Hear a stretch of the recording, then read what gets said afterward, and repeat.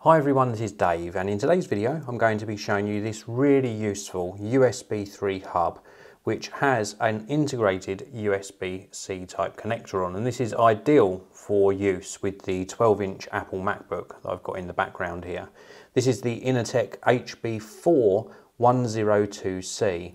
It's an aluminium unibody USB type C to 4 port USB 3 hub. Now this is what the product packaging looks like as you can see here. So if you're looking to order this, look for this model number, or indeed I've left a link to this product in the video description. Now the Retina MacBook, the 12 inch MacBook, is an ultra slim machine. This happens to be the very latest 2016 model, the Core M7 specification. And the MacBook is fantastic, but it does have one downfall, and that is it's only got a single USB-C port on the back corner here. It has got another port on this side, which is for headphones, but no other connectivity.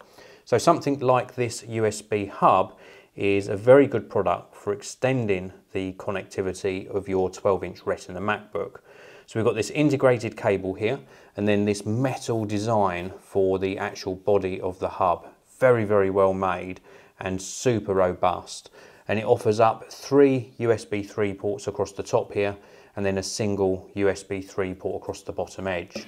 So we can plug this in to the MacBook and just for a quick demonstration for you, a little light comes on to show that there is power going to the hub and then we can plug in up to four devices. So we might have things like printers, external hard drives and other peripherals that don't connect via USB-C, they connect via regular USB connector and this is where this product is going to really be helpful to you. So that's it for this video. If you're in the market for a really decent USB-C to full-size USB hub, then please do check this out. As I mentioned earlier, there's a link to this product in the video description. Thanks for watching, and I'll see you again soon in another video on the Geekanoids channel.